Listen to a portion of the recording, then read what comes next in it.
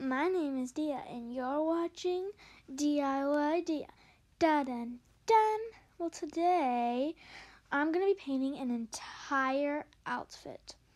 I've done shoes and um, shirts in the past, but never the whole thing. So yeah, let's get started.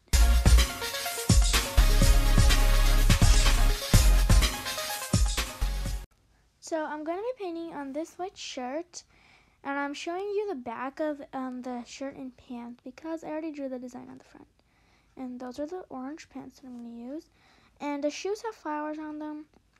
So you probably don't know that I'm doing a whole theme, but the theme for the outfit is uh, like a floral theme. Yeah.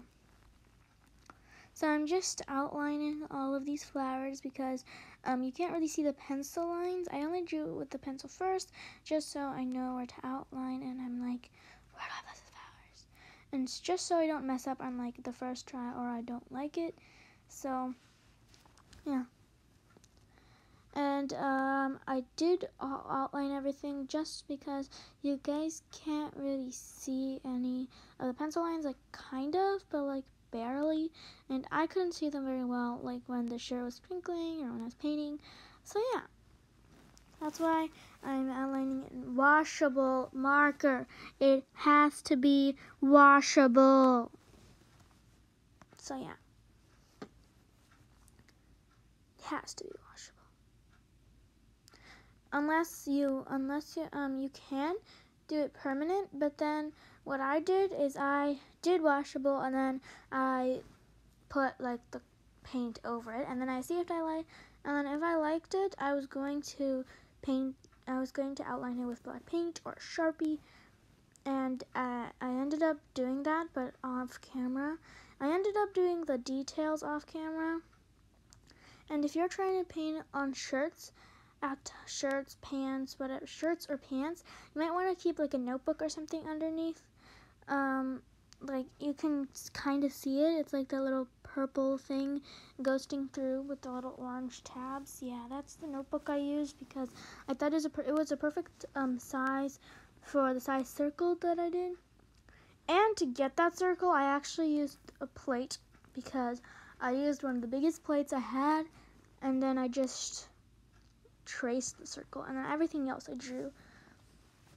And the D is like a light purple, and the background, which I'm doing right now, um, is like a teal, or like a light teal color, and I love the combination of purple and teal together, so thought it would be great. Also, in like some random parts of this video, my head just pops through. I was trying not to do that, but then when it comes to the little nooks and crannies, I kind of had to, so unlike the detail work, I kind of had to. But most of the time, it's only my hands and the shirt or like whatever I'm painting on. So I did do a lot of the pants off camera and one shoe I did part of it on camera and then the rest of it off camera, which I'm really sorry. But if I did all of it, well then the video would be like four hours long. And that's that's just not that's just like I feel like that's too long. If it was like one hour long, maybe people would watch it. No. Who would watch a one hour long video unless it's like a satisfying video? I don't know. Me? I don't know. What am I even saying? What am I even saying? Can you hear me? Sorry, I tend to whisper a lot. And then yeah. Well, right now I'm painting the first leg of the pants. Again, my head. And I'm only doing like a thin, thinnish layer of yellow. Thinnish layer of yellow and then I'm going in, um, not right now, but after I did do that, um, the lines were a little bit see-through. You can still kind of see through to the pen, the pen lines, but I did go like a little bit of white and like not trace it, but I just added like petals, I guess. You can't really call them petals, but at the end it did turn out to look like a rose, so it was okay. So now I'm just painting it yellow, painting it yellow, painting it yellow.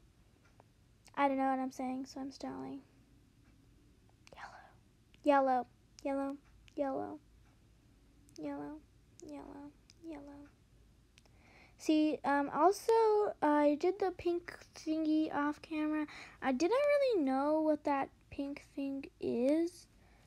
I don't know what flower it is. I just, I wanted another flower there, and I thought it would look good with a baby pink, so I did it. And thought the lighting changed, like, a lot because I'm actually doing most of the pants, like the top of the pants, and then the other leg of the pants, um, and the shoes at like 11 at night. So, see, I did all of this at 11 at night because I did the rest of it in the afternoon, and then I did everything else like this um, at 11 at night. Keep saying that, but it's the truth.